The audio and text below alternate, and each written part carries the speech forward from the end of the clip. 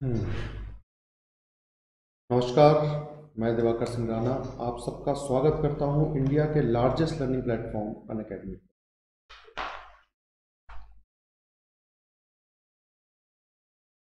Neha Pandey good morning Bablu good morning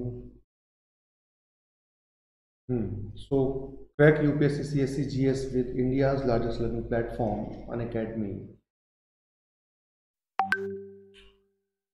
plus subscription लीजिए और काफ़ी सारी लाइव क्लासेस को एक्सेस करिए। आपकी जो क्लासेस आपकी तैयारी में आपकी मदद करने वाली हैं या आपके लिए बहुत सहायक सिद्ध होने वाली हैं। तो अगर आप प्लस सब्सक्रिप्शन लेते हैं तो देखिए यहाँ पर आपको काफ़ी सारी फैसिलिटीज़ मिलती हैं। जैसे यहाँ पर आपको मिलती daily live classes live test and quizzes यहाँ पर आपको मिल जाते हैं। स्ट्रक्चर्ड कोर्स यहाँ पर आपको मिलता है और अनलिमिटेड एक्सेस मिल जाता है आपको लाइव क्लासेस और रिकॉर्डेड क्लासेस का। तो प्लस सब्सक्रिप्शन लेने के लिए आपको अपने फ़ोन पर अन अकेडमी लर्निंग ऐप को इंस्टॉल कर लेना है। प्लस सब्सक्रिप्शन में 100 से भी ज़्यादा इंडिया के 100 से भी ज़्यादा टॉप एजुकेटर्स यहाँ पर आपको पढ़ाते हैं। प्लस सब्सक्रिप्शन में मिलती हैं आपको live classes test series unlimited practice sessions और स्ट्रक्चर शेड्यूल यहाँ पर आपको मिल जाता है। प्लस सब्सक्रिप्शन का एक साल का जो चार्ज है, अगर आप प्लस सब्सक्रिप्शन लेते हैं तो यहाँ पर आपको एक साल के लिए मात्र उनचास हज़ार पाँच सौ रुपये दो साल के लिए बहत्तर हज़ार रुपये और तीन साल के लिए नब्बे हज़ार रुपये देने होते हैं। लेकिन अगर आप इसमें राना टेन कोड का अप्लाई करते हैं इसको लेते समय तो आपको इस फ़ीस में दस परसेंट का डिस्काउंट मिल जाता है, जिससे जो आपकी एक साल की फ़ीस है वो चवालीस हज़ार पाँच सौ पचास रुपये हो जाती है। दो साल की चौंसठ हज़ार आठ सौ, तीन साल की इक्यासी हज़ार रुपये हो जाती है। गोविंद गोविंद गुड मॉर्निंग तो देखिए राना टेन कोड का इस्तेमाल करने में दस परसेंट का डिस्काउंट मिल जाएगा। एक बार फिर से मैं बता देना चाहता हूँ कि जो तीन साल का जो सब्सक्रिप्शन है तो वो ऐसे छात्रों के लिए बहुत ज़्यादा फ़ायदेमंद होने वाला है जो अंडर ग्रेजुएट हैं। ट्वेल्थ के बाद से ही सिविल सर्विसेज़ की तैयारी करना चाहते हैं। तो उन लोगों के लिए तीन साल का जो सब्सक्रिप्शन है, वो सबसे ज़्यादा फ़ायदेमंद है। तो ऐसे बच्चे या ऐसे छात्र तीन साल का सब्सक्रिप्शन ही लें तो ज़्यादा बेहतर होगा आप लोगों के लिए। अगर आप आइकॉनिक सब्सक्रिप्शन लेना चाहते हैं तो देखिए आइकॉनिक सब्सक्रिप्शन की कुछ विशेषताएँ हैं जो प्लस से ज़्यादा हैं। कुछ फीचर्स हैं यहाँ पर आइकॉनिक में जो प्लस से एडवांस है प्लस से ज़्यादा हैं। तो देखिए, यहाँ पर आइकॉनिक सब्सक्रिप्शन अगर आप लेते हैं तो यहाँ पर आपको मिलते हैं पर्सनल कोच मान लीजिए, जैसे आपने मेरा कोड राना टेन इस्तेमाल किया तो हो सकता है मैं ही आपका, आपको पर्सनली गाइड करूँ। इस तरीके से होता है इसमें। एक पर्सनल कोच आपको मिलते हैं, जो आपकी पूरी तैयारी में आपकी मदद करते हैं। पर्सनली आपकी मदद करते हैं। नोट्स कैसे बनाएँ? सर है ना? समस्या आती है बच्चों का नोट्स कैसे बनाना है? क्या पढ़ना है, क्या नहीं पढ़ना है? कौन सी बुक पढ़ें, कौन सी ना पढ़ें, है ना?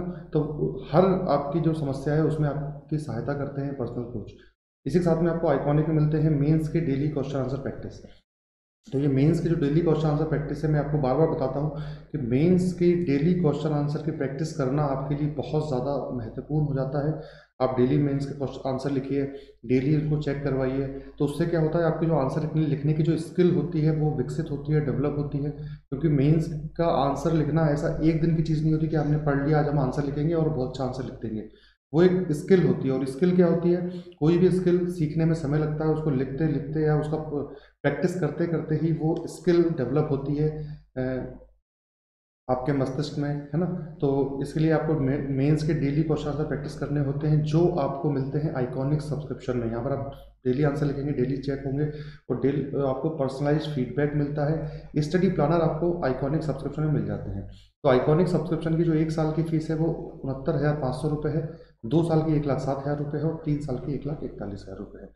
आप राना टेन कोड को यहाँ पर इस्तेमाल करेंगे तो आपको दस परसेंट का डिस्काउंट आइकॉनिक में मिल जाएगा। जिससे आपकी एक साल की फ़ीस बासठ हज़ार पाँच सौ पचास, दो साल की छियानवे हज़ार तीन सौ, तीन साल की एक लाख छब्बीस हज़ार नौ सौ रुपये हो जाएगी। अगर आप आइकॉनिक सब्सक्रिप्शन लेना चाहते हो, जल्द से जल्द से जल्द ले लीजिए, क्योंकि इसकी जो फ़ीस है आइकॉनिक सब्सक्रिप्शन की, वो बहुत ही जल्दी बढ़ने वाली है। मैं बार बार बता रहा हूँ आप लोगों को, बहुत जल्द फ़ीस बढ़ने वाली है आइकॉनिक की, अगर लेने का प्लान कर रहे हैं तो जल्द इसको ले लीजिए। Sonali, good morning. Nisha Gupta, good morning. Quiz साढ़े तीन बजे नहीं, तीन बजे होगा। तीन बजे है ना थ्री पी एम वो शेड्यूल हो चुका है, उसमें कुछ नहीं हो सकता परिवर्तन अब। उसमें बिल्कुल परिवर्तन नहीं किया जा सकता है तो वो तीन बजे से प्रारंभ हो जाएगा। ज्योति तिवारी गुड मॉर्निंग तो इसके बाद जो ऑप्शनल सब्जेक्ट की तैयारी भी आप कर सकते हैं। तो जो ऑप्शनल के सब्सक्रिप्शन है, वो एक साल का सत्ताईस हज़ार पाँच सौ रुपये का है, दो साल का चालीस हज़ार और तीन साल का पचास हज़ार रुपये का है। यहाँ पर भी आप राना टेन कोड का इस्तेमाल करेंगे तो आपको दस परसेंट का डिस्काउंट यहाँ पर भी मिल जाएगा, जिससे आपकी एक साल की फ़ीस चौबीस हज़ार सात सौ पचास हो जाएगी और दो साल की छत्तीस हज़ार और तीन साल की पैंतालीस हज़ार रुपये हो जाएगी। अगर आप ऑप्शनल का और जीएस का सब्सक्रिप्शन साथ में लेते हैं तो आपको कुछ ज़्यादा डिस्काउंट यहाँ पर मिल जाएगा। है ना? तो दोनों की फ़ीस में आपको अच्छा अच्छा खासा डिस्काउंट या अधिकतम जो डिस्काउंट होगा वो आपको मिलेगा अगर दोनों सब्सक्रिप्शन आप साथ में लेते हैं तो। यू पी एस दो हज़ार इक्कीस के लिए अब सिर्फ़ छः महीने बचे हुए हैं। बैच स्टार्ट हो चुका है। बैच का नाम है चैम्पियंस बैच जिसमें छः महीने के अंदर आपका पूरा जीएस कंप्लीट कराया जाएगा यूपीएससी सीएससी प्रीलिम 2021 को टारगेट करते हुए बाईलैंग्वेज ये बैच है 15 दिसंबर से प्रारंभ हो चुका है। इसमें कराया जाएगा जीएस का कंप्लीट सिलेबस प्रीलिम्स के को टारगेट करते हुए। टेस्ट सीरीज़ मिल जाएँगी आपको प्रीलिम्स की, यहाँ पर लगभग 500 घंटे की क्लासेस मिल जाएँगी। फ्री पीडीएफ मटेरियल मिल जाएगा स्ट्रक्चर शेड्यूल मिल जाएगा डाउट क्लियरिंग सेशन आपको इसमें मिलेगा और इंडिया के टॉप एजुकेटर्स यहाँ पर आपको पढ़ाएँगे। इसी तरीके से 22 और 23 को टारगेट करते हुए बैच प्रारंभ हो चुके हैं। आप ज्वाइन कर लीजिए जल्दी। अगर नहीं किया है तो राना टेन फ़ूड का इस्तेमाल कर लेना। सब्सक्रिप्शन लेते समय आपको मिल जाएगा दस परसेंट का डिस्काउंट तो चलिए शुरू करते हैं। आज का जो हमारा टॉपिक है भारतीय चित्रकला। हम्म, नेहा निष्ठा क्या समस्या है? तीन से साढ़े तीन तक। नहीं नहीं तीन से चार बजे तक लगभग चलेगा वो है ना? जो एमसीक्यू सेशन होगा ऐप पर, वो तीन से चार बजे तक चलेगा। रंजीत गुड मॉर्निंग तो चलिए फिर प्रारंभ किया जाए। हमारा भारतीय चित्रकला का जो सेशन चल रहा है, इसमें, इसके बाद इसके दो तीन क्लासेस और आएँगी चित्रकला के ऊपर, क्योंकि थोड़ा सा बड़ा टॉपिक है। एक, दो क्लास में कवर नहीं हो पाएगा ये। तो इसके बाद दो क्लासेस लगभग दो या तीन क्लासेस और होंगी चित्रकला के ऊपर, है ना? तो कल हमने देखा था भित्ति चित्र भित्ति चित्र को समझाता भित्ति चित्र क्या होते हैं? जो कि पाषाण की दीवार गुफाओं में या पत्थरों की गुफाओं में पत्थरों पर की जाने वाली चित्रकारी थी चित्रकारी थी, जो कि प्राग ऐतिहासिक काल से प्रारंभ होकर हमने उसको देखा था, जो कि गुप्त काल में मौर्य काल में जो गुफाओं का निर्माण हुआ था, उनमें भी चित्रकारी देखी गई थी, जो कि पत्थरों पर की जाती है, पत्थरों की दीवार पर। अब फिर हम आज देखने वाले हैं लघु चित्रकला। तो हमने कल थोड़ा इंट्रो, इंट्रोडक्शन देखा था लघु चित्रकला का भी। तो लघु चित्रकला क्या होती है? कपड़ों और कागज़ पर, छोटे स्तर पर की जाने वाली चित्रकारी होती है ये, लघु चित्रकला। तो जो लघु चित्रकला की जो शुरुआत का श्रेय दिया जाता है, वो बंगाल के पाल शासकों को दिया जाता है। ऐसा ऐसा माना जाता है कि जो बंगाल के पाल शासक थे, इन लोगों ने जो लघु चित्रकारी है, इसकी शुरुआत की थी भारत में, या इस इसके जन्मदाता के रूप में पाल शासकों को, या संरक्षक के रूप में पाल शासकों को, बंगाल के पाल शासकों को देखा जाता है। तो आज इसी लघु चित्रकला के ऊपर हम लोग चर्चा करने वाले हैं। हम्म।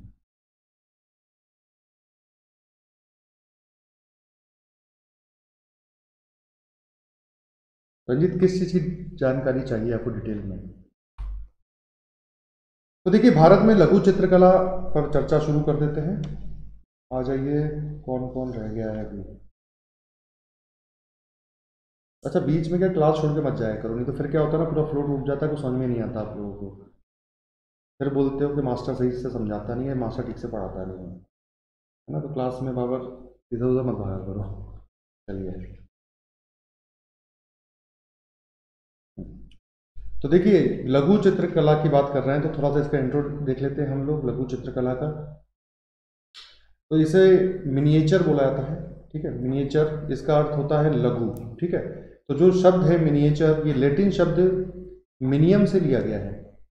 और लेटिन जो शब्द है मिनियम हम्म तो लेटिन लेटिन जो शब्द है मिनियम जिसका अर्थ होता है लाल रंग के शीशा मिनियम जो मिनिएचर शब्द है, जिसका अर्थ होता है लघु या छोटा तो जो मिनिएचर शब्द है, ये लेटिन भाषा के मिनियम शब्द से लिया गया है जो मिनियम शब्द है, उसका अर्थ होता है, लाल रंग का शीशा होता है है ना? तो इस रंग का जो उपयोग था, या इस रंग के शीशे का उपयोग जो पुनर्जागरण काल था हमें आप लोगों ने वर्ल्ड हिस्ट्री में पढ़ा होगा, पुनर्जागरण काल, प्रबोधन काल तो उस समय जब पुनर्जागरण का दौर चल रहा था तो उस दौर में इस लाल रंग के शीशे का उपयोग पुनर्जागरण काल के दौरान प्रदीप्त पांडुलिपियों में किया जाता था। ठीक है? लेकिन सामान्यतः जो मिनियम शब्द है, इसका जो अर्थ वर्तमान में लगाया जाता है, क्योंकि इसको अर्थ को लेकर बहुत ज़्यादा थोड़ी असंगतियाँ पैदा हुई हैं होती हैं, जिसमें कि इसका जो अर्थ लगाया जाता है, मिनियम का, वो लगाया जाता है इसका होता है छोटा, मिनियम मतलब छोटा इसका वर्तमान अर्थ लगाया जाता है। लघु चित्र छोटे और विस्तृत विवरण देने वाले होते थे। जिस लघु चित्रकला की हम बात कर रहे हैं वो आकार में वो छोटे होते थे लेकिन उन चित्रों को देखकर उसके जो पीछे की विवरण है पीछे की जो कहानी है वो आप पूरी समझ सकते थे क्योंकि वो चित्र छोटे हैं लेकिन उनका जो विवरण उनको देख के जो विवरण समझ सकते थे उनकी कहानी को समझ सकते थे हम वो बहुत विस्तृत होती थी। ठीक है तो, तो भारतीय उपमहाद्वीप में इन लघु चित्रों की जो प्राचीन मतलब बहुत लंबे समय से या मध्यकालीन भारत से हम देखें तो ये लगभग 1500 ईस्वी से प्रारंभ हो चुके थे, इसलिए हम कह सकते हैं कि जो लघु चित्र है, भारतीय उपमहाद्वीप में लंबी परंपरा रही है लघु चित्रों की, और साथ ही कई शैलियों का भी इसमें, इन लघु चित्रों की कई सारी शैलियों का भारतीय उपमहाद्वीप में विकास देखने को मिलता है। उन सभी चरणों की बात करेंगे, आगे आने वाली कक्षाओं में तीन चार जो और लेसन लेसन आने वाले हैं इसके ऊपर, उनमें सभी जो विभिन्न शैलियाँ विकसित हुई हैं लघु चित्रकला की, उन पर भी हम चर्चा करेंगे।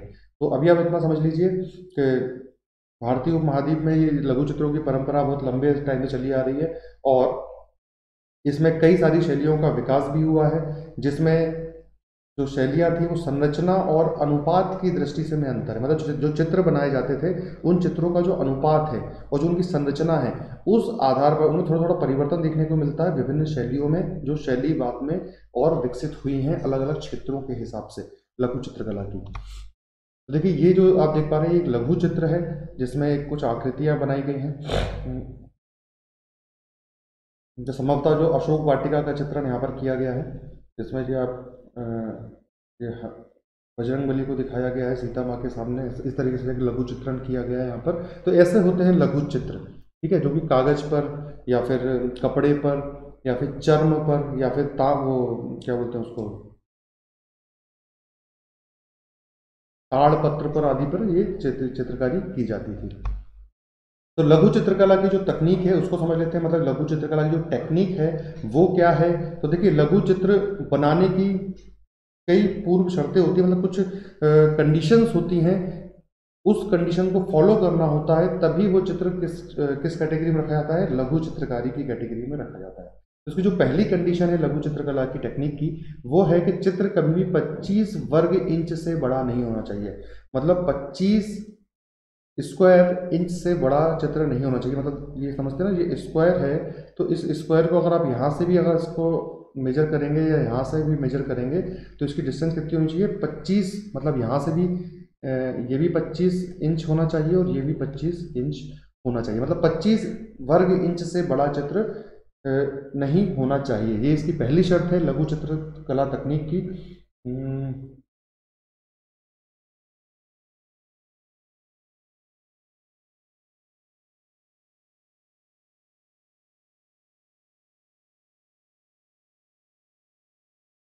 हम्म। ठीक है लेकिन वो ऋग्वेद की जो पांडुलिपियाँ हैं उनमें लघु चित्र नहीं है है ना? ये लघु चित्र की परंपरा बाद में प्रारंभ हुई है भारत में बहुत मध्यकालीन भारत के समय लगभग। ठीक है। हम्म।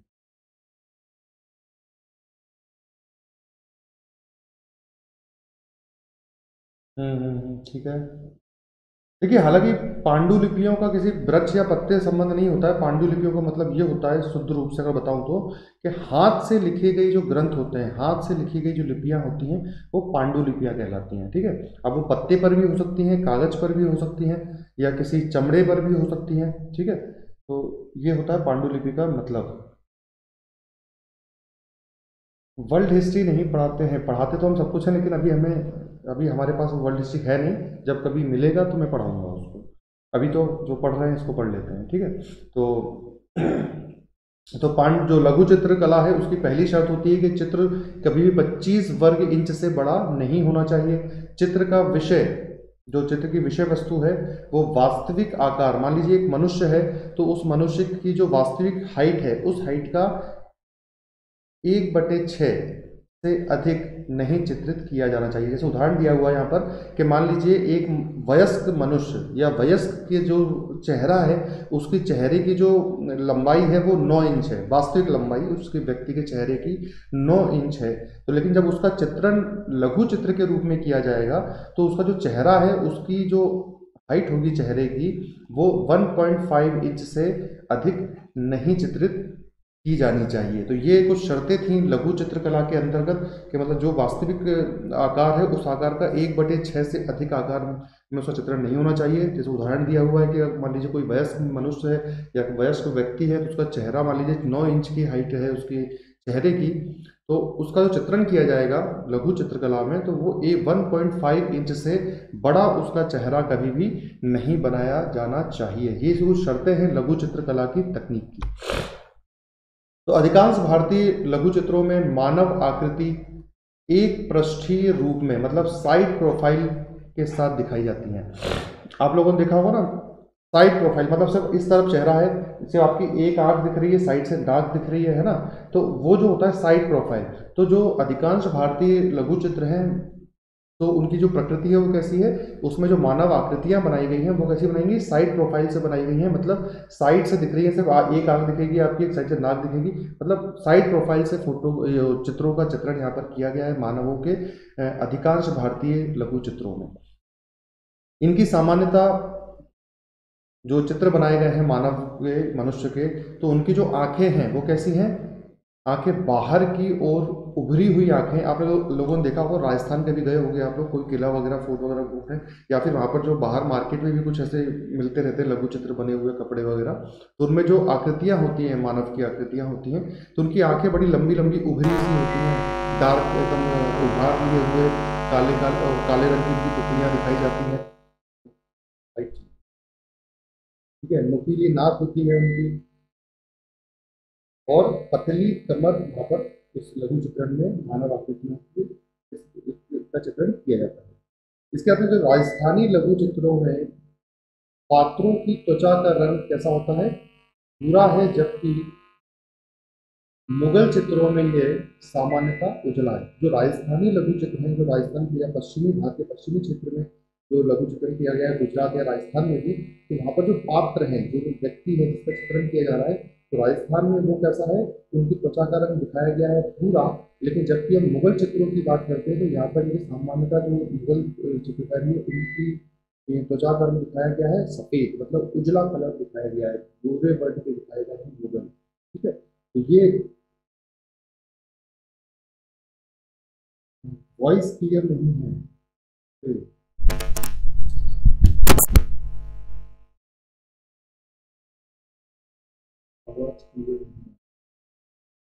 एक वजह लाइट चली गई तो समस्या इसलिए हो रही है, मुझे लगता है। कोशिश करते हैं वॉइस क्लियर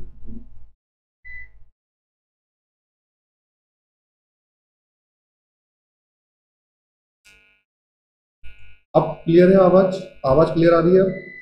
अब स्पष्ट है? अभी भी क्लियर नहीं है?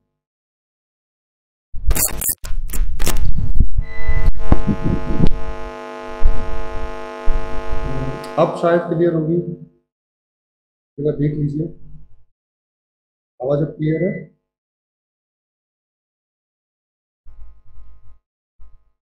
आवाज़ क्लियर है?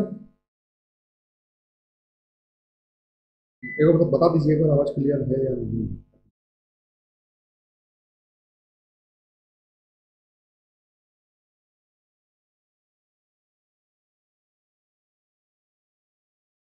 थोड़ा सा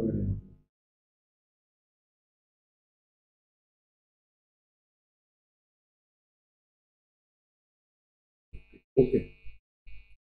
चलिए आगे बढ़ते हैं।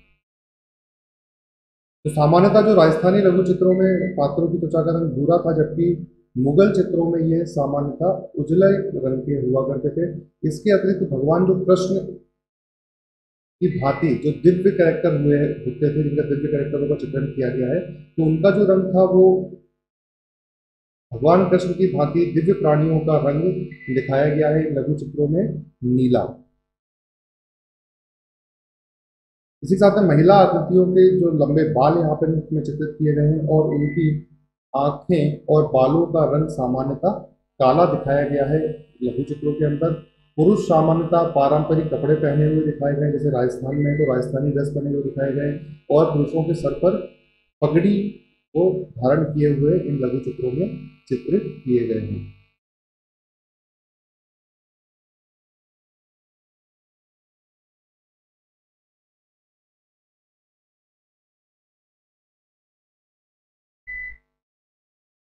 आवाज़ में कोई डिस्टरबेंस है कि आवाज़ क्लियर नहीं है?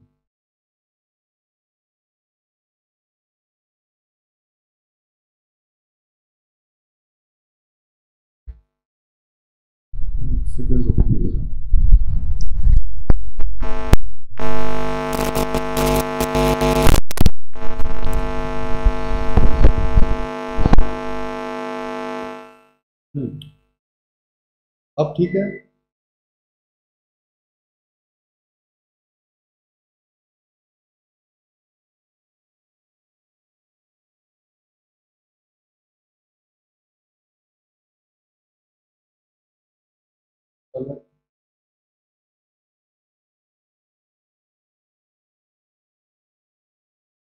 हम्म, क्या रहा है?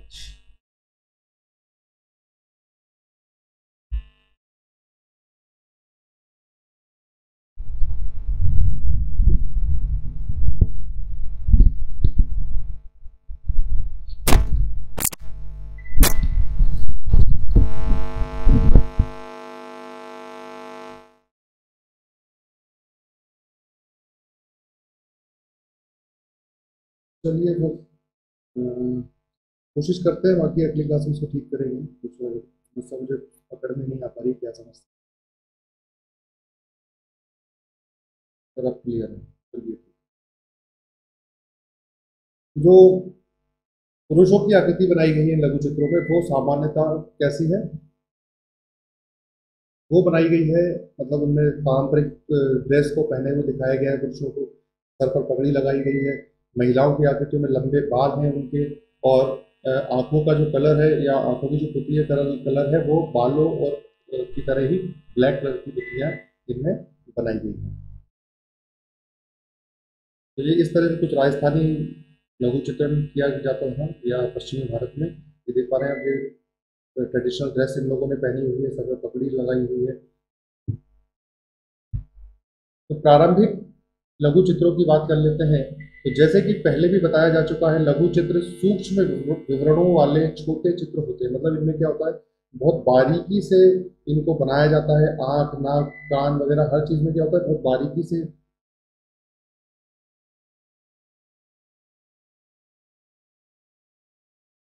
अब इसमें नहीं बता सकते देखिए क्या है, हमारा जो माइक है वो एक्सटर्नल उसको लाइट चाहिए होती है थोड़ी सी, इसलिए बहुत दिक्कत होता है।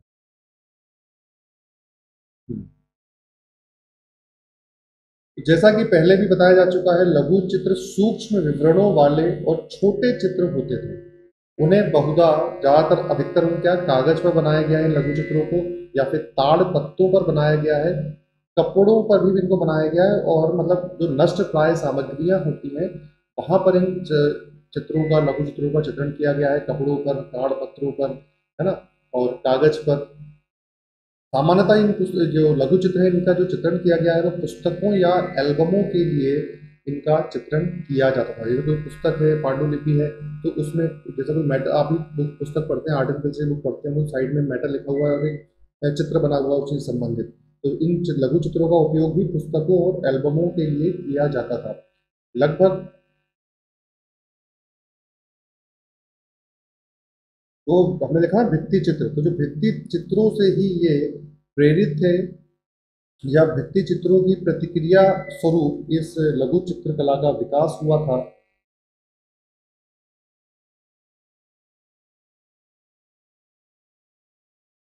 हम्म सही है, ठीक है। तो लघु चित्रकला का विकास आठवीं और बारहवीं शताब्दी के बीच हुआ है। इस प्रकार की चित्रकला के लिए पूर्वी और पश्चिमी क्षेत्रों को श्रेय दिया जाता है। मतलब जो पूर्वी क्षेत्र मतलब बंगाल वाला क्षेत्र, जहाँ पर कि पाल शासकों के संरक्षण में चित्रकला विकसित हुई थी, और पश्चिमी क्षेत्र जो कि आपका गुजरात और राजस्थान वाला क्षेत्र है तो इसीलिए इस प्रकार की चित्रकला के लिए पूर्वी और पश्चिमी क्षेत्रों को श्रेय दिया जाता है, क्योंकि इसका जो विकास हुआ, ये चित्रकला फैली और फूली, फली फूली वो पूर्व क्षेत्र मतलब बंगाल और पश्चिमी क्षेत्र अर्थात गुजरात और राजस्थान में ये कला अधिक प्रचलित हुई और विकसित हुई। तो इसमें दो प्रकार देखने को मिलते हैं हमको। पहला हम देखेंगे, पहला हम देखेंगे कला की पाल शैली और अपभ्रंश शैली के विषय में।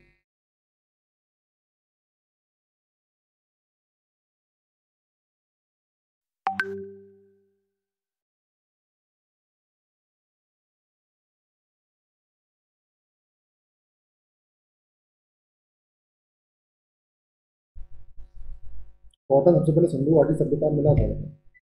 हम्म। तो कला की पाल शैली को जान लेते हैं, जो कि पश्चिम बंगाल में विकसित हुई थी। तो इस शैली का विकास 750 से 1150 ईस्वी के दौरान हुआ था। सामान्यतः ये चित्र पांडुलिपियों के अंग के रूप में मिलते हैं। मतलब जो पांडुलिपियाँ होती थी, हाथ से लिखी गई जो ग्रंथ होते थे, लिपियाँ होती थी तो उन्हीं में इन चित्रों को चित्रित किया जाता था, लघु चित्रों को पांडुलिपियों के साथ। तो सामान्यतः इन्हें ताड़पत्र और चर्म पत्र पर बनाया जाता था। बंगाल में जब विकसित हुई थी, कला प्रारंभ हुआ था इसका उस समय तो अधिकांशतः बौद्ध भिक्षु इनका उपयोग करते थे। मतलब जो बंगाल में जो विकसित हुई थी, वहाँ पर बौद्ध भिक्षुओं के द्वारा इस कला का विकास हुआ था, किया गया था। लेकिन उसको संरक्षण जो मिला था, वो पाल शासकों ने प्रदान किया था। तो अधिकांशतः बौद्ध भिक्षु इनका उपयोग करते थे और चूँकि उनके धर्म से सभी सजीव प्राणियों के प्रति अहिंसा का व्यवहार करने का सिद्धांत दिया गया था, और धर्म जो था, उसमें क्या था? सभी सजीव प्राणियों के प्रति अहिंसा का व्यवहार किया जाता था बौद्ध धर्म में। इसीलिए वे केवल जो नारियल के पेड़ के पत्ते होते हैं, उनका ही उपयोग किया करते थे। बौद्ध भिक्षु इन लघु चित्रों को चित्रित करने के लिए।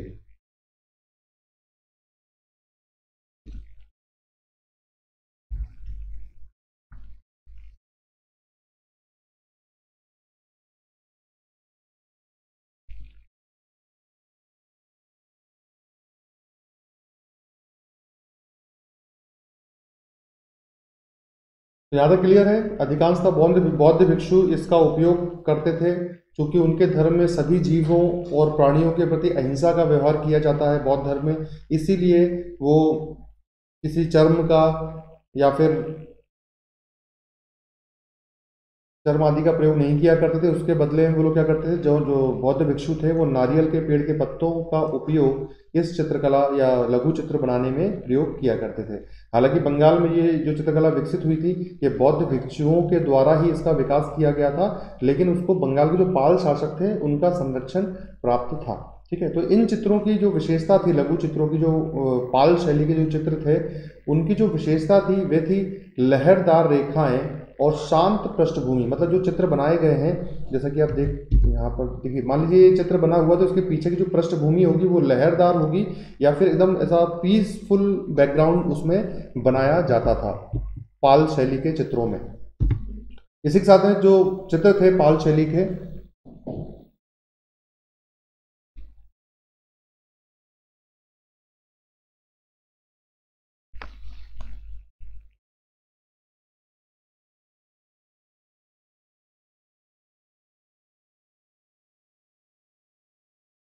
तिवारी ये हो है प्लस पे चलती हैं क्लासेस यूट्यूब का मुझे अभी ज़्यादा आइडिया नहीं है जिसमें मिडवल हिस्ट्री चल रहा हो और वर्ल्ड हिस्ट्री चल रहा हो। ये प्लस पे तो चलती हैं।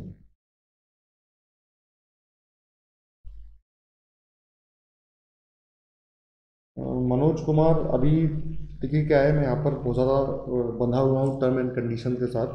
मैं यहाँ पर कोई भी अपना सोशल मीडिया अकाउंट कुछ भी शेयर नहीं कर सकता हूँ। ठीक है? हम्म।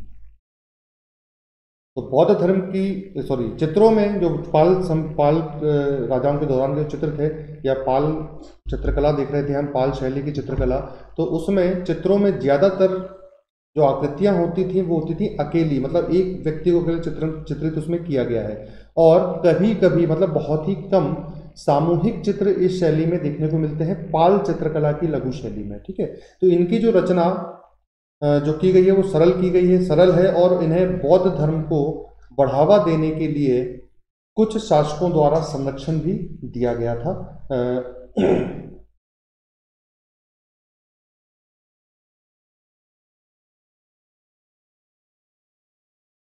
तो बौद्ध धर्म की जो वज्रयान शाखा के समर्थकों ने भी इस चित्रकला मतलब पाल चित्रकला की या चित्रशैली की लघु चित्रकला का उपयोग किया है, उन्हें संरक्षण दिया है। धिम्मन और वितपाल ये पाल चित्रकला के बहुत विख्यात चित्रकार हुए थे। तो देख पा रहे हैं, यहाँ पर आप पांडु लिपियाँ लिखी हुई हैं। जैसे देखा था ना, इन चित्रों का चित्रण पाल शैली में पांडु लिपियों के साथ प्राय किया गया है। तो यहाँ पर ये पांडु लिपियाँ लिखी हुई हैं, इनके साथ में बीच में ये चित्रों का, यहाँ पे लघु चित्रों का, लघु चित्रों का चित्रण यहाँ पर किया गया है, ठीक है? तो कला की अभ्रंश शैली, अब देखिए अभ्रंश होता क्या है? जैसे कि अगर जब हम हिंदी भाषा की विकास की बात करते हैं तो हम देखते हैं संस्कृत से उसका विकास हुआ है।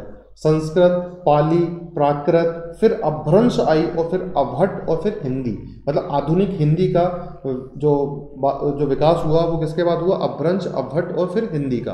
तो जो अब जो अभ्रंश काल होता है, जिस, जब भी हम अभ्रंश शैली की बात करते हैं तो अभ्रंश जो प्राचीन काल चला आ रहा है, प्राचीन शैली आ रही है तो उस शैली और आधुनिक शैली के बीच में एक संक्रमण का युग आता है, जैसे कि का अवहट था हिंदी में, हिंदी भाषा में तो एक संक्रमण युग से पहले वाला जो काल होता है, या आधुनिक काल से पहले का जो काल होता है, उसको हम संभवतः अभ्रंश बोल सकते हैं। तो जो आपकी जो लघु चित्रकला है, उसकी अभ्रंश शैली मतलब ये आधुनिक लघु चित्रकला से पूर्व की शैली इसको बोल सकते हैं, और जो मध्यकालीन चित्रकला थी, उसके बाद की शैली, ठीक है? तो इस शैली के विषय को जान लेते हैं।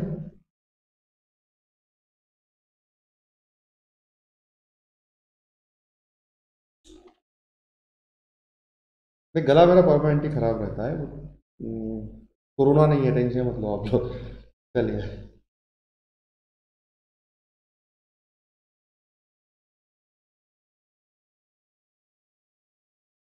नहीं अन्य सर डालते हैं अभी मुझे समय कम हुआ है इसलिए मैं करता हूँ उसका कुछ व्यवस्था कर जल्दी जल्दी करता हूँ एक दो दिन में ही देखता हूँ कुछ है ना?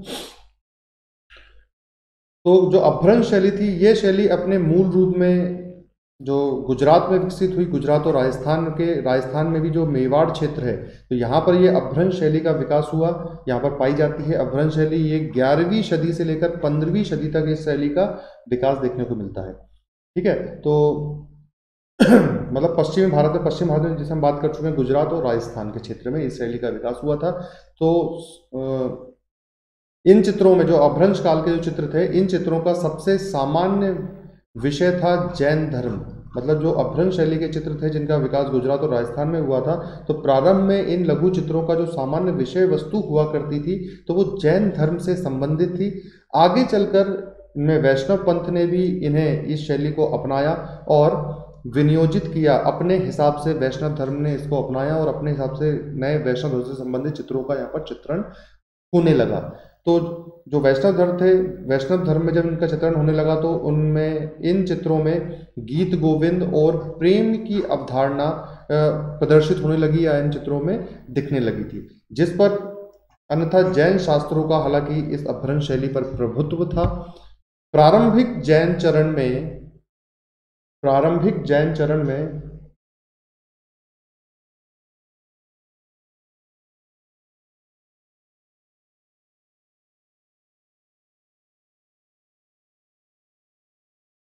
हम्म।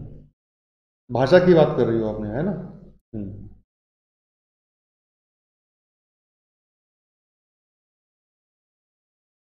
बिल्कुल सही है, कौन पूछ रहा है ये? शालू। हाँ इतना पर्याप्त है आर्ट एंड कल्चर के लिए।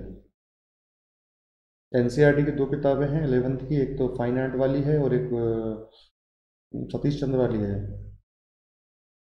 R S Sharma, R S Sharma की एन ठीक है एलेवंथ वाली। उसको और नितिन सिंघानिया जी की बुक पर्याप्त है। तो प्रारंभिक जैन चरण में चित्र जो थे, वो ताड़ पत्र पर बनाए जाते थे, लेकिन आगे चलकर इन्हें कागज़ पर भी बनाया जाने लगा था। अपभ्रंश शैली की बात कर रहे हैं यहाँ पर। हम्म। भले ही इन चित्रों को सचित्र पुस्तकों के लिए चित्र चित्र के रूप में बनाया जाता था, क्योंकि जो प्रारंभिक चित्र बनना प्रारंभ हुए थे सॉरी अभ्रंश काल के जो चित्र हैं, लघु चित्र, ये पुस्तकों के लिए चित्र बनाए जाते थे। आज भी हम लोग कई बुक पढ़ते हैं, अपनी, जैसे मान लीजिए नितिन सिंघानिया की बुक ही पढ़ेंगे तो उसमें, या आर्ट एंड कल्चर कल्चर की कोई बुक पढ़ेंगे तो उसमें हर चैप्टर के साथ काफ़ी सारे चित्र समाहित होते हैं। तो यही चीज़ जो लघु चित्रकला शैली का विकास हुआ था, वो भी जो पांडुलिपियाँ होती थी या पुस्तकें होती थी तो उनके लिए चित्र के रूप में लघु चित्रकला का चित्रण किया जाना प्रारंभ हुआ था। लेकिन इससे किसी अलग शैली का अभ्रंश में विकास नहीं हुआ, बल्कि निचले आयाम वाले चित्र भित्ति चित्र ही यहाँ पर देखने को मिलते हैं। मतलब कोई नई शैली है कोई एडवांस शैली भ्रंश काल में देखने को नहीं मिलती है। जो प्रा, प्राचीन काल में जो चित्रण हो रहे थे लगभग वैसे ही चित्र यहाँ पर चित्रित किए जाते थे। तो इन चित्रों में सामान्यता जो भ्रंश काल की लघु चित्रकला थी उसमें सामान्यता लाल पीले और गेरुए रंग का प्रयोग किया गया था। बाद के काल में और जो भ्रंश, अभ्रंश काल था, उसके बाद के काल में उत्तरवर्ती चरणों में इनमें उजले और सुनहरे रंगों का प्रयोग भी किया जाने लगा था।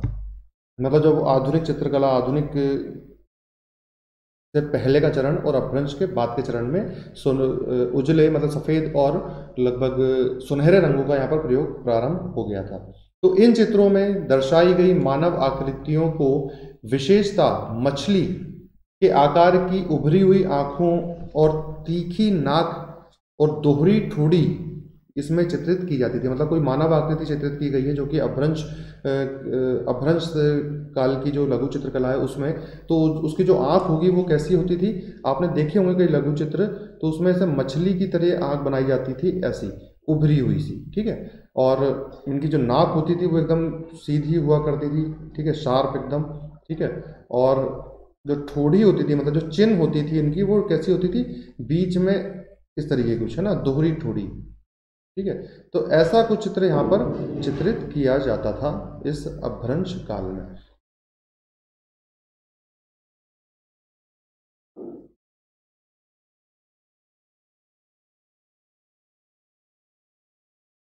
हम्म। पहले तो कॉटन बोल रहे थे ना आप।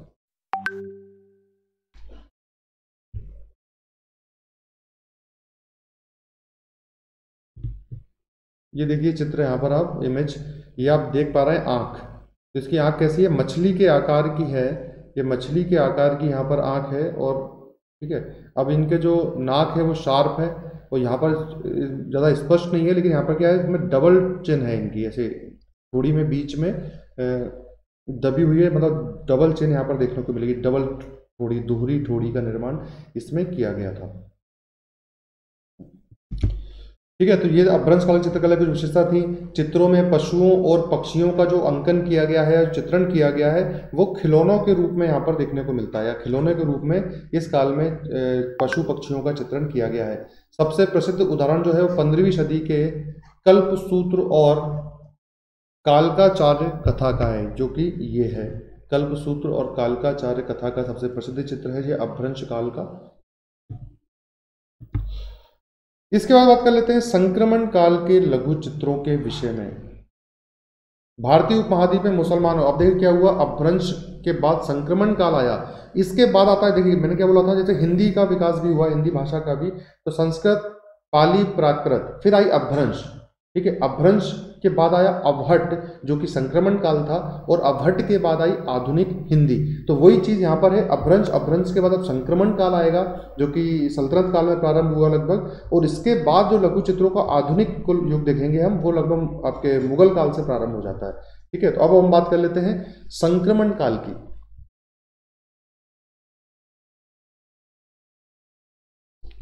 कोई बात नहीं, भूलना तो मनुष्य की प्रवृत्ति है। चलिए। तो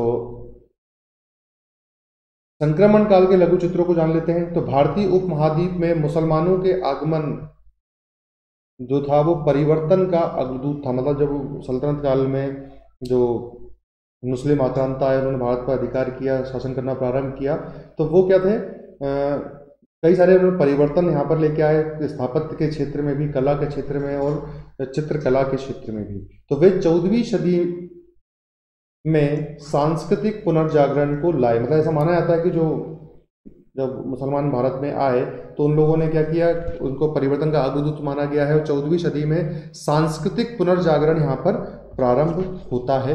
तो कोई ये नहीं कह सकता है कि इस्लामिक शैलियाँ ही इस काल में छाई रही। मतलब ऐसा नहीं था कि वो लोग आए तो पूरे भारत में एकदम इस्लामिक चित्रकला या इस्लामिक वास्तुकला है, वो ही पूर्ण रूप से छा गई थी। ऐसा तो कहीं भी ना तो वास्तुकला के क्षेत्र में हमने देखा और ना ही चित्रकला के क्षेत्र में ऐसा हुआ। हाँ लेकिन उन शैलियों से थोड़ा प्रभावित ज़रूर ज़रूर हुई भारतीय शैलियाँ और ऐसा नहीं था कि पूर्ण रूप से वही छाई रहीं, जबकि पारंपरिक शैलियाँ पश्चिमी भारत के राज दरबारों में बची रही, जो राजस्थान के राज राज दरबार थे, राज, राजे रजवाड़े थे, गुजरात के कुछ राजे रजवाड़े थे, वहाँ पर जो पारंपरिक शैलियाँ थी, उनका प्रचलन उस समय भी होता रहा।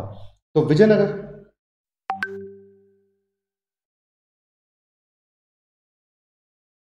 तो जो विजयनगर के दक्षिणी राज्य में एक अलग शैली का विकास देखने को मिलता है, उस समय नई शैली उभर रही थी विजयनगर के दक्षिण साम्राज्य में या दक्षिण राज्य में, जो कि चित्रकला की दक्कन शैली के निकटवर्ती थी या निकट संबंध रखती थी। इन सभी शैलियों को हम लोग आगे आने वाली कक्षाओं में, कल, परसों, जो भी दो तीन सेशन इसके और होंगे तो एक एक शैली को हम बहुत बारीकी से यहाँ पर समझेंगे उसमें।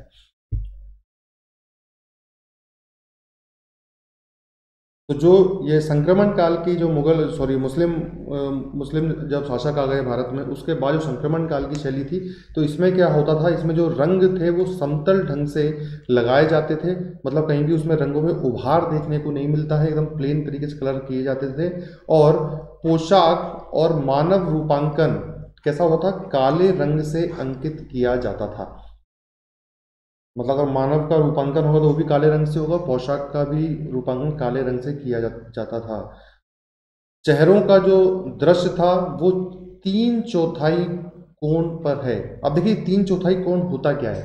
जैसा कि हमने प्रारंभ में इसको स्टार्ट किया तब देखा था हमने कि जो प्रारंभ की जो पाल के टाइम की या पाल लघु चित्र शैली थी या लघु चित्र शैली थी प्रारंभिक तो उसमें क्या था? जो मनुष्य आकृतियों का चित्रण होता था, वो कैसा था? साइड प्रोफ़ाइल से था। मतलब इस इस तरीके से इस आकृति में था, है ना? लेकिन जो संक्रमण काल की या फिर सल्तनत काल की चित्रकारी थी, उसमें जो चेहरे का दृश्य होता था, वो तीन चौथाई था। मतलब अब एकदम ऐसा नहीं होगा, इस एकदम पूरा हंड्रेड परसेंट इस दिशा में नहीं होगा। कैसा होगा?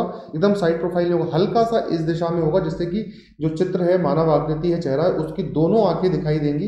लेकिन बिल्कुल ऐसा, क्या बोलते हैं उसको, एकदम फ्रंट में भी नहीं होगा चेहरा, हल्का सा तिरछा होगा, जिसमें उसकी दोनों आँखें दिखाई दें। ठीक है मतलब इस तरह के चेहरों का अंकन यहाँ पर प्रारंभ हो चुका था। इसे बोलते हैं तीन चौथाई कोण पर चेहरों का अंकन किया जाता था।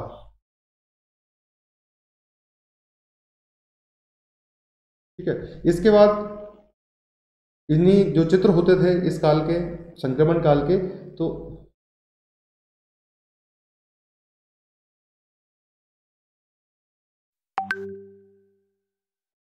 नहीं, आए शासन स्थापित, शासन कब स्थापित मतलब साम्राज्य कब स्थापित किया साम्राज्य स्थापित करने के बाद जो शैली धीरे धीरे डेवलप हुई तो जो हम उस समय की बात कर रहे हैं अभी तो वो इस शैली की जब विकास हुआ, उस जब ये लघु चित्रकला की शैली विकसित हुई उनकी, उस टाइम पीरियड की बात कर रहे हैं अभी, है ना? तो तो जो ये चित्र बनाया करते थे तो उन चित्रों में भूदृश्य में वृक्ष चट्टानों और अन्य डिज़ाइनों पर भी, अन्य डिजाइने से भी भरे हुआ करते थे। जो चित्र होते थे, उनके बैकग्राउंड में आपको काफ़ी सारे भूदृश्य दिखते थे, जैसे कि वृक्ष दिखेंगे, चट्टाने दिखेंगी, है ना? इस तरह की चीज़ें इस काल की चित्रकला में देखने को मिलती है। जैसे कि चित्र देख पा रहे हैं आप, ज़्यादातर पोशाक है काले कलर का प्रयोग किया गया है। पीछे यहाँ पर देख पा रहे हैं, ये वृक्ष देख पा रहे हैं आप, ठीक है? तो ये सब जो वृक्ष वगैरह हैं और चट्टाने खैर इसमें है नहीं इस वाले चित्र में तो इन सब का जो रूपांकन किया जाता था किसमें? संक्रमण काल की चित्र शैली में। अब बात कर लेते हैं दिल्ली सल्तनत में जो लघु चित्रकला थी। तो इन चित्रों में भारतीय पारंपरिक तत्वों के साथ साथ अपने मूल फारसी तत्वों को एक साथ लाने का प्रयास किया। मतलब जो भारतीय भारतीय परंपरागत जो चित्र शैली थी, उसके साथ फारसी तत्वों को भी इसमें सम्मिलित करने का प्रयास किया गया है। इनमें सचित्र पांडुलिपियों को वरिता दी गई है। मतलब जो पांडुलिपियाँ क्या होती हैं? जो हाथ से लिखी गई पुस्तकें होती हैं, हाथ से लिखे गए ग्रंथ होते हैं, है ना? ये हाथ से लिखी गई लिपियाँ सॉरी प्रतियाँ तो उनको बोला जाता है पांडुलिपियाँ। तो इस काल में क्या हुआ था, जो सचित्र पांडुलिपियाँ थी मतलब पांडुलिपियों के साथ साथ चित्रों का भी उसमें अंकन है। तो इनको इन लोगों ने वरीता दी। इस अवधि की सर्वोत्तम उदाहरण में से एक जो है वो मांडू के पर शासन करने वाले शासक थे। नासिर शाह, उनके उनके शासनकाल के दौरान इन्होंने एक पुस्तक लिखी थी ग्रंथ लिखा था हस्तलिखित, जिसका नाम था निमतनामा, ठीक है? या निमतनामा जो कि रसोई पर एक किताब थी, इस पांडुलिपि में स्वदेशी और फारसी शैलियों का सम्मिश्रण देखने को मिलता है।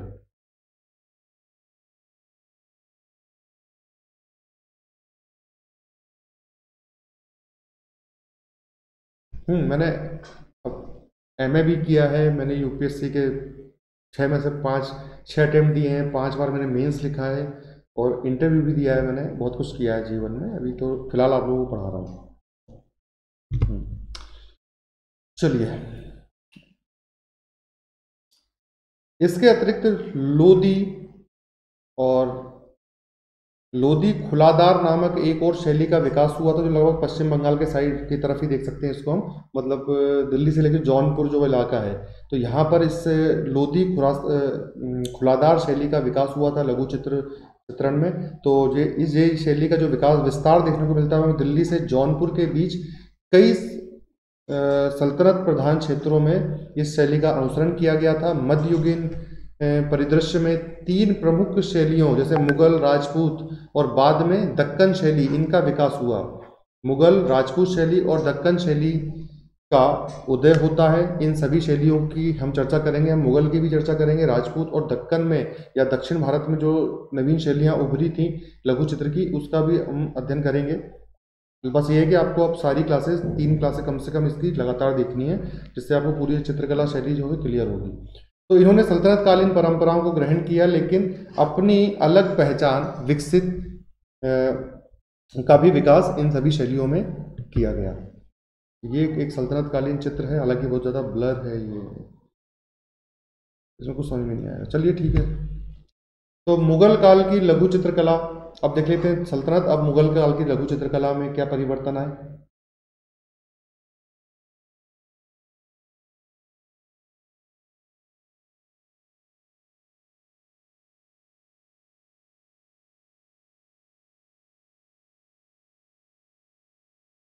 निशा, आपका प्रश्न समझ में नहीं आया मुझे। आपका हिस्ट्री ऑप्शनल था तो आपका कौन कौन सब्जेक्ट था सर जी प्लीज़ क्या क्या पूछना चाह रही है? समझ नहीं पाया मैं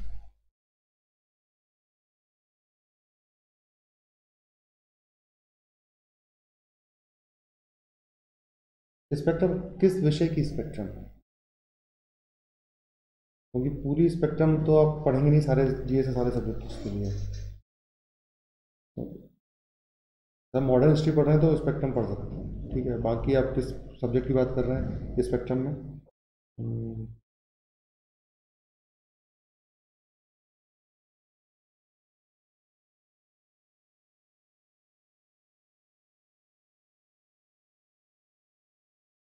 चलिए तो मुगल काल की लघु चित्रकला को समझ लेते हैं। तो ये मुगल काल में बनाए गए चित्रों की विशिष्ट शैली थी, क्योंकि इन्हें फारस के पूर्व व्रत से लिया तो फारस से आए हुए ये लोग थे। फारस की जो शैली थी, वहाँ से इसको अपनाया गया था उसमें ज़ाहिर से कुछ विशिष्टताएँ होंगी जो कि फारस से संबंधित होंगी। तो इस मुगल शैली में क्या था?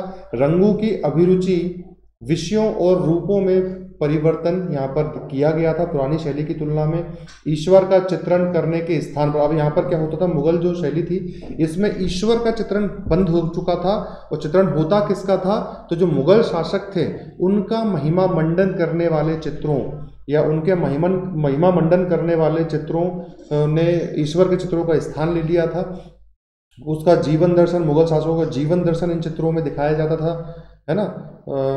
इसके साथ में ये जो चित्र थे मुगल काल के, ये आखिर दृश्य मतलब जो शिकार करने वाले दृश्यों को चित्रण, मुगल मुगल शासकों के शिकार के जो दृश्य हुआ करते थे, उनका यहाँ पर चित्रण किया गया है, आखिर दृश्यों का ऐतिहासिक घटनाओं और दरबार से संबंधित अन्य चित्रों पर ये मुगल चित्रकारी केंद्रित थी। मतलब जो उस समय मुगल शासकों संबंधित जो ऐतिहासिक घटनाएँ थी, कोई युद्ध होगा तो उस सबका यहाँ पर चित्रण किया गया था। साथ में जो दरबार था, मुगल दरबार तो उसका मुगल शासक बैठा हुआ है सारे दरबारी बैठे हुए हैं। इस तरह के चित्र मुगल काल में प्रचलन में आए थे। मुगल चित्रकला महान वंश की जो संपन्नता या मुगल वंश की जो संपन्नता थी तथा फारसी प्राकृतिक शैली का एक मिश्रण था, जिसमें कुछ सुंदर ढंग से सचित्र पन्ने बनाए गए हैं। ठीक है तो मुगल चित्रकारी में क्या हुआ तो जो मुगल काल की लघु चित्रकला थी, उसमें चमकीले रंग का प्रयोग देखने को मिलता है। तो जिसके कारण इन चित्रों को अद्वितीय माना जाता है। क्योंकि चमकीले रंग का जो प्रयोग था लघु चित्रकारी में, वो मुगल काल की लघु चित्रकला से पहले नहीं किया गया था। तो यहाँ पर चमकीले रंगों का प्रयोग देखने का मिलता है, जिसके कारण ये जो मुगल चित्रकारी है, मुगल लघु चित्रकला है, वो अद्वितीय हो जाती है और धार्मिक चित्रों को छोड़कर, क्योंकि यहाँ पर धार्मिक चित्रों का या धार्मिक देवी देवताओं का यहाँ पर चित्रण नहीं किया गया किसी का भी। यहाँ किया किसका है? मुगल अपने विविध विषयों पर मतलब खुद की घटनाओं पर, खुद के दरबार पर खुद अगर शिकार करने जा रहा तो शिकार के दृश्य का यहाँ पर चित्रण इन लोगों ने करवाया था मुगलों ने, धार्मिक चित्रों को छोड़कर। भले ही उन्होंने केवल लघु चित्र बनवाए, फिर भी इन चित्रों को विश्व के सबसे अनूठे चित्रों में शामिल किया जाता है। ठीक है, हालाँकि उन लोगों ने क्या किया? जब लघु चित्र बनवाए थे मुगलों ने, लेकिन उनके द्वारा जो बनाए गए लघु चित्र थे, वो विश्व के सबसे अनूठे चित्रों में इन चित्रों को शामिल किया जाता है। क्योंकि चित्रकला में कुछ नई टेक्निक लेके आए थे, वो टेक्निक थी अग्र दृश्यांकन वो टेक्निक थी कौन सी थी? अग्र दृश्यांकन जो कि मुगलों के द्वारा प्रारंभ की गई थी। इस टेक्निक में होता क्या था? आप मुगल टाइम की कोई लघु चित्रकारी को देखिए। हाँ जहांगीर को बहुत अधिक रुचि थी, वो खुद भी एक चित्रकार था, जहांगीर भी। वो अभी मुगल चित्रकला डिस्कस करेंगे अगले कल के लेक्चर में, तब उसको बात करेंगे, ठीक है? तो देखिए, जो मुगल चित्रकारी थी, लघु चित्रकला, उसमें एक नई टेक्निक लेके आए थे ये, वो थी अग्र दृश्यांकन। उसमें क्या होता था कि जैसे मान लीजिए, अब जहांगीर, आपने बोला जहांगीर से ही सुन लीजिए, जैसे जहांगीर खड़ा हुआ है किसी चित्र में तो अरे, अच्छे चित्रकार नहीं है हम। ठीक है, मान लीजिए ये जहांगीर है तो ये कैसा दिखेगा? आपको ऐसा जो चित्र होगा बैकग्राउंड से काफ़ी आगे की तरफ़ आपको दिखाई देगा कि मतलब उभरा हुआ सा जहांगीर दिखेगा। जैसे जहांगीर उस चित्र से थोड़ा बाहर की तरफ़ खड़ा हुआ, जैसे कुछ थ्री पेंटिंग्स होती है ना, इस तरीके की ये पेंटिंग थी, जिसमें, जिसको बोला गया है अग्रदृश्यांकन, जो कि मुगल लघु चित्रकला में की एक विशेष टेक्निक थी या खास टेक्निक थी, जो ये लोग, इन्होंने अपने चित्रों में प्रारंभ की थी। तो इस तकनीक के अंतर्गत वास्तु, जो वस्तुओं का चित्रण इस प्रकार से किया जाता था कि वे वास्तविकता की तुलना में अधिक निकटवर्ती और छोटी दिखाई देती थी। क्रमिक शासकों के अधीन चित्रकला की शैली में परिवर्तन भी आता जैसे मुगल काल में अलग अलग शासक आते गए तो उनके टाइम पीरियड में अलग अलग तरह की चित्रकला में थोड़ा बहुत परिवर्तन भी देखने को मिलता है।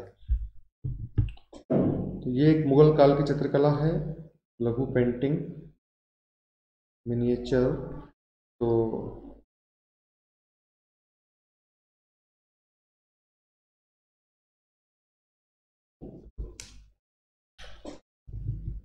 चलिए तो आज हमने देखा लघु चित्रकला की एक पृष्ठभूमि। आज हमने यहाँ पर तैयार की, थोड़ा समझने का प्रयास किया, प्रारंभ कैसे हुई, सल्तनत काल में संक्रमण युग में कैसी थी मुगल काल में उसमें क्या क्या परिवर्तन आए। अब जो कल हमारा लेक्चर होने वाला है इस विषय पर, वो होगा मुगल चित्रकला से हम उसको प्रारंभ करते हैं और इसमें लगभग दो या तीन लेक्चर अभी और होंगे, जिसमें कि हम प्रत्येक स्थान विशेष की जो चित्रकारी डेवलप हुई, उसमें क्या विशेषताएँ थी, उन सबको जानने का प्रयास करेंगे। तो कल इसी समय साढ़े दस बजे आर्ट एंड कल्चर के लेक्चर में मिलते हैं और बाकी अभी साढ़े बारह बजे ऐप पे आ जाइए, नए टॉपिक के साथ वहाँ पर मिलने वाले हैं। तीन बजे ऐप पर करेंगे एमसीक्यू तो आ जाइए सभी लोग। दिवाकर सिंह राणा सर्च कर लेना फॉलो कर लेना और साढ़े बारह बजे वहाँ पे क्लास अटेंड करते हैं। हम्म, ठीक है निशा। तो साढ़े बारह बजे मिलते हैं और कौन है ये? हम्म, शालू। निशा। निशा नेहा सॉरी नेहा। राना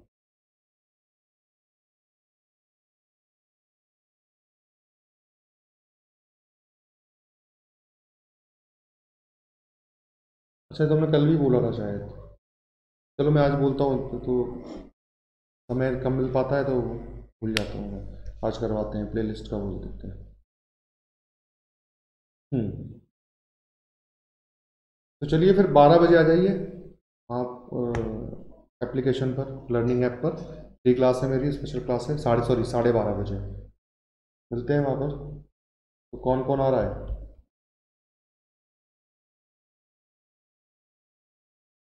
क्यों? क्या हो गया? क्यों नहीं ले सकते? उसमें तो एमसीक्यूज होने वाले हैं दो दिन से एमसीक्यूज एमसीक्यूज चिल्ला रहे थे तो एमसीक्यूज होंगे, तीन बजे वाली क्लास में तो। जो टॉपिक बारह बजे पढ़ेंगे, साढ़े बारह बजे, उसी टॉपिक के हम आगे उसमें एमसीक्यूज करेंगे, लगभग शायद पूरे। हम्म। चलो, साढ़े बारह बजे तो आ जाओ, फिर मिलते हैं, है ना? चलिए।